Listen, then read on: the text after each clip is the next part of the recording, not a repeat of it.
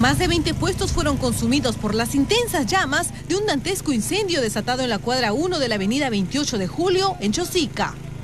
Se sabe que el fuego que generó caos en la población se habría originado por un cortocircuito en un puesto de limpieza de este centro de abastos.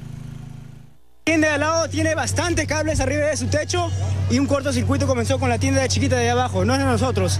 Y ahí comenzó el fuego. La desesperación reinó en el lugar. Los comerciantes intentaron rescatar parte de sus productos. Muchos de ellos lo perdieron todo. De mi hermano se ha quemado todo por un cortocircuito. Señora, su zapatería.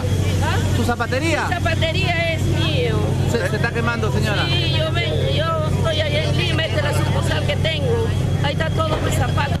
Inmediatamente después el fuego se extendió rápidamente hacia locales aledaños, logrando alcanzar este edificio multifamiliar. Los ocupantes tuvieron que ser evacuados ante el peligro de asfixia.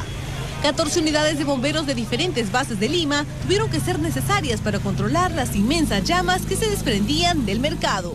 Porque acá hay dos unidades, la de Chaclacayo y la Chosica, pero para esta clase de incendios no se pueden abastecer. Hemos tenido que hacer subir unidades de Lima, porque acá no hay agua. Al parecer la gran cantidad de material inflamable, así como la falta de agua, fueron los desencadenantes de la magnitud de este siniestro. Luego de tres horas se pudo apagar el incendio que dejó cuantiosas pérdidas materiales. Afortunadamente no hubo ningún herido de gravedad.